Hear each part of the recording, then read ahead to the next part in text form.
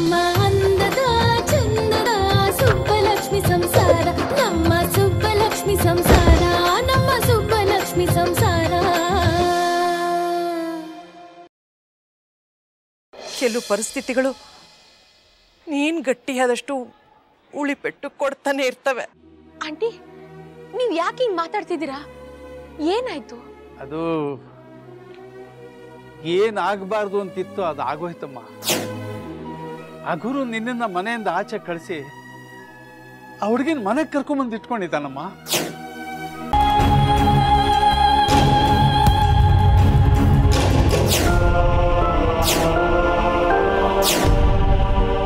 ನೀನಾ? ನೀನೇ ಇಲ್ಲಿಗೆ ಬಂದೆ? ನಾನು ಇಲ್ಲಿಗೆ ಬರಂಗಿಲ್ವಾ? ನೀನ್ ಇಲ್ಲಿಗೆ ಇರಂಗಿಲ್ವಾ ಅಂತ?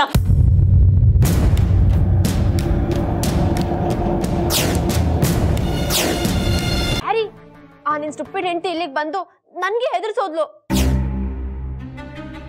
ಸುಬ್ಲಕ್ಷ್ಮಿ ಅಲ್ಲಿಗೆ ಬಂದಿದ್ಲ? ಹ್ಮ್. ಯಾವಾಗ? ಈಗ ಸ್ವಲ್ಪ ಹೊತ್ತಿಗೆ ಮುಂಚೆ. ಅಂಡ್ ಗ್ಯಾರಿ ಅಷ್ಟೇ ಅಲ್ಲ ಅವಳ ಮೇಲೆ ಪಕ್ಕದ ಮನೇಲೆ ಇರ್ತಾಳಂತೆ. ನೀವ್ ಯಾಕೆ ನನ್ ಬ್ಯಾಗ್ನ ತರಕ್ ಹೋದ್ರಿ? ನಾನೇ ತಕೊಂಬರ್ತಿರ್ಲಿಲ್ವಾ? ಇರ್ಲಿ ಬಿಡಕ್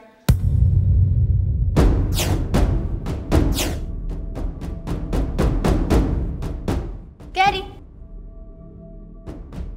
ಹೇಗೆ ಕಾಣ್ತಿದ್ದೀನಿ?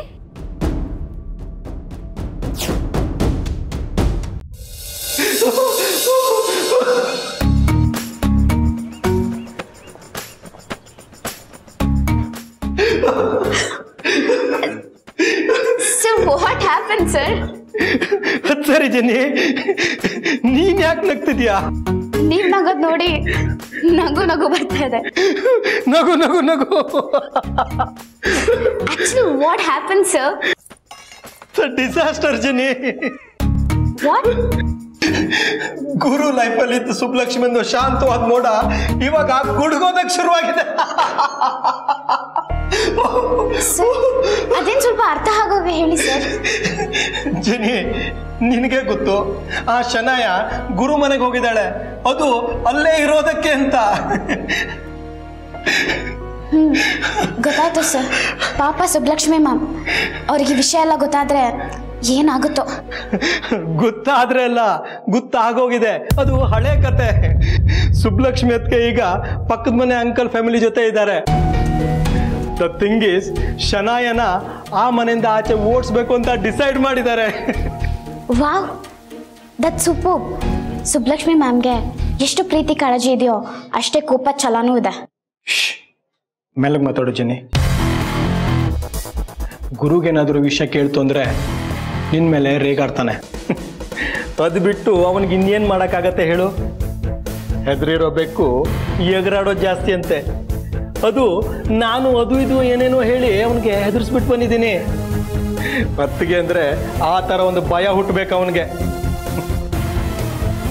ಮತ್ತಿಗೆ ಹೀಗೂ ಮಾಡ್ತಾರೆ ಅಂತ ಅವನು ಕನ್ಸಲ್ಲೂ ಅನ್ಕೊಂಡಿರ್ಲಿಲ್ಲ. ಪಾಪ. ಸುಬ್ಲಕ್ಷ್ಮಿ ಮ್ಯಾಮ್ ಎಷ್ಟು ಅಂತ ಸಹಿಸ್ಕೋತಾರೆ? ಆಕ್ಚುಲಿ ಅವರು ಈಗ ಸರಿಯಾದ ನಿರ್ಧಾರ ತಗೊಂಡಿದ್ದಾರೆ. ಒಬ್ರು ಅವ್ರ ಕಷ್ಟನ ಸಹಿಸ್ಕೋತಿದ್ದಾರೆ ಅಂದ್ರೆ ಅದು ಅವ್ರ ವೀಕ್ನೆಸ್ ಅಲ್ಲ ಅದು ಅವ್ರ ಶಕ್ತಿ ಅಂತ ಎಷ್ಟೋ ಜನರಿಗೆ ಗೊತ್ತಿರಲ್ಲ. ಹೀಗೆ ತಿರುಗಿ ಬಿದ್ದಾಗ್ಲೇ ಅದು ಅವ್ರಿಗೆ ಗೊತ್ತಾಗೋದು. ರೈಟ್ ಸರ್ ಹಾಗಿದ್ರೆ ಇನ್ಮೇಲೆ ಚೆನ್ನಾಗೆ ಬ್ಯಾಡ್ ಟೈಮ್ ಶುರು ಆಯಿತು ಹಾ. ನಾವಿಲ್ಲಿ ನಿಂತ್ಕೊಂಡು ಮಾತಾಡೋದು ತುಂಬ ಈಸಿ ಅನ್ಸತ್ತೆ. ಅದರಲ್ಲಿ ಸುಬ್ಲಕ್ಷ್ಮಿ ಅದಕ್ಕೆ ಮನಸ್ಸಿನ ಪರಿಸ್ಥಿತಿ ಯೋಚನೆ ಮಾಡೋದಕ್ಕೂ ಆಗಲ್ಲ. ತನ್ನ ಮನೇಲೆ ತನ್ನ ಗಂಡನ ಜೊತೆ ಇನ್ನೊಂದು ಹೆಣ್ಣನ್ನು ನೋಡೋದು ಅಂದರೆ it's not easy I know sir ಹೇಗಾದರೂ ಮಾಡಿ ಸುಬ್ಲಕ್ಷ್ಮಿ ಮ್ಯಾಮ್ ಶನಾಯನ್ನ ಆ ಮನೆಯಿಂದ ಆಚೆ ಹಾಕಲೇಬೇಕು. ಎಸ್ ಜನಿ ಹಾಂ ಹಾಂ. ಓಕೆ ನಾಳೆ ಸಿಗೋಣ. ಸಿದ್ಧಾಂತ್ ಮಾವ ಇಲ್ಲಿ ಸುಬ್ಲಕ್ಷ್ಮಿನ ಇರೋದಕ್ಕೆ ಅಂತ ಕರ್ಕೊಂಡು ಬಂದಿದ್ದಾರೆ. ಆದ್ರೂ ನೀನ್ ಸುಮ್ಮನೆ ಇದ್ಯಾ? ಅಂದ್ರೆ ನಾನು ಏನು ಹೇಳಬೇಕು ಅಂತ ನೀನು ಎಕ್ಸ್ಪೆಕ್ಟ್ ಮಾಡ್ತಿದ್ಯಾ? ಸಿದ್ಧಾಂತ್ ನಿನ್ಗಿದೆಲ್ಲ ಸರಿ ಅನ್ಸ್ತಿದ್ಯಾ? ಅಕ್ಕಪಕ್ಕದವ್ರಿಗೆ ಹೆಲ್ಪ್ ಮಾಡೋದಕ್ಕೂ ಒಂದು ಲಿಮಿಟ್ ಅಂತ ಇರುತ್ತೆ. ಕರ್ಕೊಂಡು ಬಂದು ಮನೆಯಲ್ಲೇ ಕೂರ್ಸ್ಕೊಳ್ಳೋದಲ್ಲ. ಸಾನಾ ಈ ವಿಷಯದಲ್ಲಿ ನಾನು ಏನು ಹೇಳಕ್ಕಾಗಲ್ಲ. ಯಾಕಂದ್ರೆ ಈ ಮನೆ ಅಪ್ಪಂದು ನಾವಿರೋದು ಅವ್ರ ಮನೇಲಿ. ಈ ಮನೇಲಿ ಯಾರು ಇರಬೇಕು ಯಾರು ಹೋಗ್ಬೇಕು ಅನ್ನೋ ಡಿಸಿಷನ್ ತಗೊಳ್ಳೋ ಅಧಿಕಾರ ಇರೋದು ಅಪ್ಪಗೆ ಮಾತ್ರ. ನಮ್ಗಲ್ಲ. ವಾಟ್ ಯು ಮೀನ್ ಸಿದ್ಧಾಂತ್ ಹಾಗಾದ್ರೆ ನೀನೇನು ಅಲ್ವಾ ಅವ್ರಿಗೆ?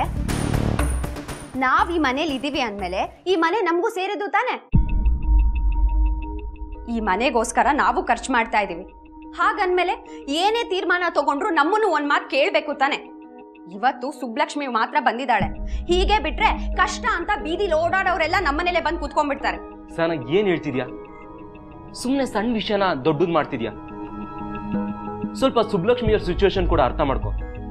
ಪಾಪ ಇಂಥ ಟೈಮಲ್ಲಿ ನಾವಲ್ದೆ ಇನ್ಯಾರು ಹೆಲ್ಪ್ ಮಾಡ್ತಾರೆ ಅವ್ರಿಗೆ? ಓಹೋ ಫೈನ್ ಹಾಗಾದ್ರೆ ಹೆಲ್ಪ್ ಮಾಡಿ, ನೋಡ್ಕೊಳ್ಳಿ, ಚೆನ್ನಾಗಿ ನೋಡ್ಕೊಳ್ಳಿ. ಎಷ್ಟೇ ಆದ್ರೂ ನೀನ್ ಅವ್ರ ಮಗ ತಾನೆ. ಸುಬ್ಲಕ್ಷ್ಮಿ ಅವ್ರ ಮಗಳು. ಅವರೇ ಯಾವಾಗ್ಲೂ ಹೇಳ್ತಾ ಇರ್ತಾರಲ್ಲ, ಸುಬ್ಲಕ್ಷ್ಮಿ ತುಂಬಾ ಒಳ್ಳೆಯವಳು, ನಾನ್ ಮಾತ್ರ ಕೆಟ್ಟವಳು ಅಂತ. ಯಾಕಂದ್ರೆ, ನಾನು ಅವ್ರ ಮಗಳಲ್ಲ, ಸೊಸೆ. ಸೊಸೆ ಅಂದ್ರು ಅಂದ್ರೆ ಯಾವಾಗ್ಲೂ ಕೆಟ್ಟವ್ರೆ ಅಲ್ವಾ? ಸನ ಈಗೆಲ್ಲ ಯಾಕೆ ಮಾತಾಡ್ತಿದ್ಯಾ? ನೀನ್ ಕೆಟ್ಟೋಳು ಅಂತ ಅವ್ರೆಲ್ಲ ಹೇಳಿದಾರೆ? ಎಲ್ಲ ವಿಷಯನೂ ಅರ್ಥ ಆಗೋದಕ್ಕೆ ನೇರವಾಗಿ ಹೇಳ್ಬೇಕಾಗಿಲ್ಲ ಸಿದ್ಧಾಂತ್.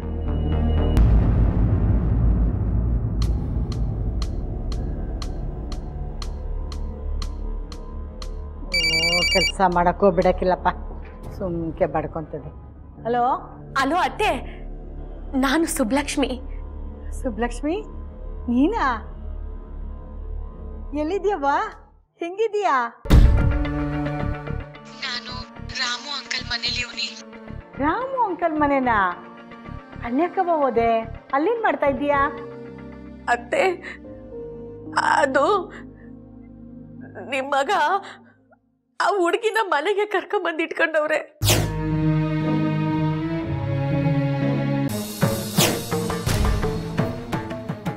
ಇವತ್ತು ನನ್ನ ಯುದ್ಧದ ಮೊದಲನೇ ದಿನ. ಇದು ನನ್ನ ಮೊದಲನೇ ಹೆಜ್ಜೆ.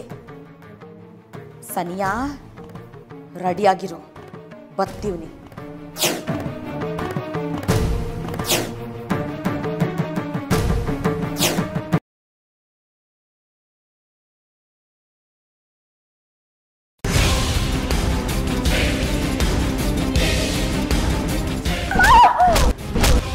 ಯಾವ ಅಮೃತನ ನಿನ್ನ ಸರ್ವಸ್ವ ಅಂತ ತಿಳ್ಕೊಂಡಿದ್ಯೋ, ಅದೇ ಅಮೃತ ಇದ್ದಕ್ಕಿದ್ದಾಗೆ ನಿನ್ನ ಬಾಳಲ್ಲಿ ಒಂದು ಕ್ಷಣ ಇಲ್ಲ ಅಂತ ಅನ್ಕೋ. ಏನು ಮಾಡ್ತೀಯ?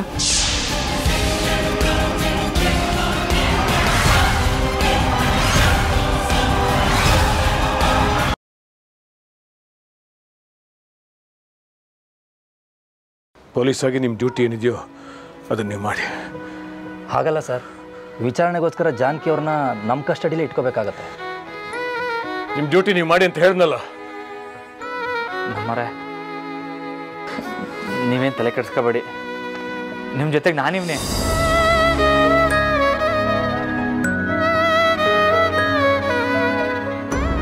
ಪಟ್ಟದರ್ ಪಟ್ಟದರೆಯ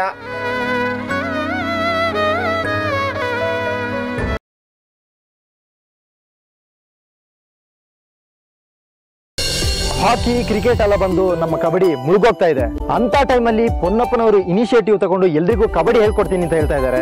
ತುಂಬಾ ಖುಷಿ ಆಗ್ತಾ ಇದೆ. ನಂದ್ ಒಂದೇ ಕಿವಿ ಮಾತು ಹೆಣ್ಮಕ್ಳು ಮನೆ ಕೆಲ್ಸಕ್ಕೆ ಮಾತ್ರ ಸೀಮಿತ ಅಲ್ಲ ಅನ್ನೋದನ್ನ ನೀವೆಲ್ಲರೂ ಪ್ರೂವ್ ಮಾಡಬೇಕು.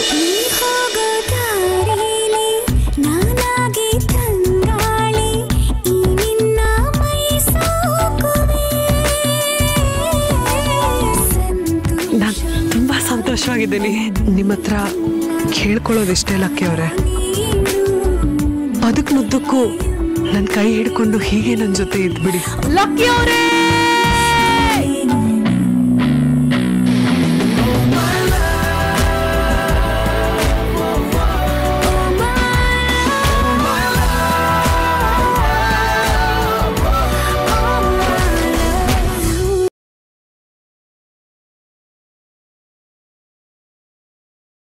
ಎಂಥ ಕಾಲ ಬಂತು ನೋಡ್ರಿ.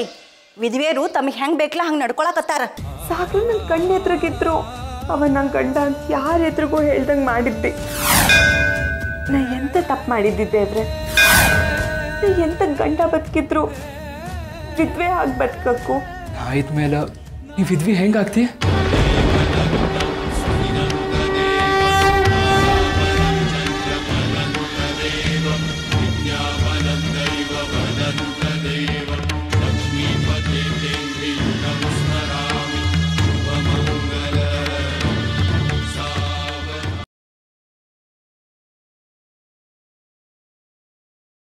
ಶೇಖರ್ ಅವ್ರ ಹೆಸರಲ್ಲಿ ಪಬ್ಲಿಷ್ ಆಗ್ತಿದ್ದಿದ್ದ ಕಾದಂಬರಿ ಆರ್ಟಿಕಲ್ಸ್ನ ನೀವು ಬರ್ದಿರೋದು ಅಂತ ನಿರೂಪಿಸೋಕ್ಕೆ ಕಾರ್ಬನ್ ಶೀಟ್ ಯೂಸ್ ಮಾಡಬಾರ್ದು ಒಂದು ಕಾಪಿನ ಎತ್ತಿಡ್ತಿದ್ರಿ ಅಲ್ವಾ? ಈ ಮಧ್ಯೆ ಅದನ್ನು ಯಾರ ಹತ್ರ ಆದರೂ ಪ್ರೂವ್ ಮಾಡಿದ್ರಾ? ಸುಕನ್ಯ ಅವ್ರಿಗೆ ಇದರಿಂದ ಅರ್ಥ ಮಾಡಿಸ್ಬೇಕು ಅಂದ್ಕೊಂಡಿದ್ದೆ ಸುಕನ್ಯ ಅವ್ರಿಗೆ ಯಾಕೆ ಪ್ರೂವ್ ಮಾಡಬೇಕು ಅಂತಿದ್ರಿ? ಬೇರೆ ಮ್ಯಾಗ್ಝಿನಲ್ಲೂ ಇವ್ರ ಕಾದಂಬರಿಗಳು ಬರ್ತಿತ್ತಲ್ಲ?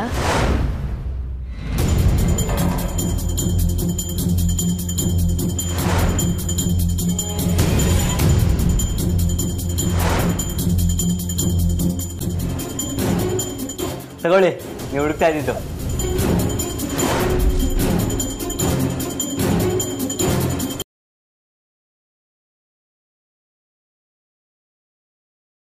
ನಾನು ನಿನ್ ಗೆಳತಿ. ಗೆಳತಿನ? ಅದಂಗಾಗತ್ತೆ? ಅವತ್ತು ನೀನು ತ್ರಿಪುರ ಸುಂದರಿ ಅಮ್ಮನವ್ರ ಮುಂದೆ ಕೂತ್ಕೊಂಡು ಏನ್ ಕೇಳ್ದೆ ಹೇಳು? ಅಮ್ಮ ತಾಯಿ ತ್ರಿಪುರ ಸುಂದರಿ. ನಾವಿಬ್ರು ದೇವ್ರು ಹೋದ್ಮೇಲೆ ನಾವಿಬ್ರು ಗೆಳತಿರಲ್ವಾ? ಅಪ್ಪಂಗೆ ಹೆಂಡತಿ, ನನಗೆ ಅಮ್ಮ ಕಣಿಸು ತಾಯಿ. ಹಾ, ಆ ವಿಗ್ರಹ ನನಗಿಂತ ಪುಟ್ಟದಲ್ವಾ? ಅದಕ್ಕೆ ನಾನು ಅವಳು ಇಬ್ರು ಗೆಳತಿದ್ದು